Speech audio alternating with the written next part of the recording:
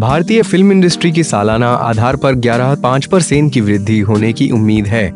बताया जा रहा है कि साल 2020 तक फ़िल्म इंडस्ट्री की सकल प्राप्ति तेईस शून्य शून्य शून्य करोड़ रुपए हो जाएगी। फ़िलहाल के आंकड़ों की बात करें, इस समय ये कमाई तेरह आठ सौ करोड़ है। पिछले दो सालों में 10 परसेंट का चढ़ाव देखा गया है। फ़िल्म इंडस्ट्री में मेकर्स को एक फ़िल्म बनाने के लिए कई चुनौतियों का सामना करना पड़ता है। रिपोर्ट में बताया गया है कि लगभग 70 अनुमोदन और लाइसेंस एक फ़िल्म निर्माता भारत में फ़िल्म की शूटिंग के लिए 30 से ज़्यादा अधिकारियों से लेना पड़ता है। बताया जा रहा है कि पिछले चार सालों में लाइसेंस के कारण के भारत के कई बड़े बजट की फ़िल्मों से हाथ धोया है। इस रिपोर्ट में कहा गया है कि लाइसेंस लेने की लंबी प्रक्रिया के कारण फ़िल्म इंडस्ट्री पर काफ़ी प्रभाव पड़ा है। अगर इस प्रक्रिया को हल्का नहीं किया गया तो फ़िल्म इंडस्ट्री की तरक्की की ज़्यादा रफ्तार से नहीं हो पाएगी। आपको बता दें कि भारतीय फ़िल्म इंडस्ट्री दुनिया की सबसे बड़ी फ़िल्म इंडस्ट्री है।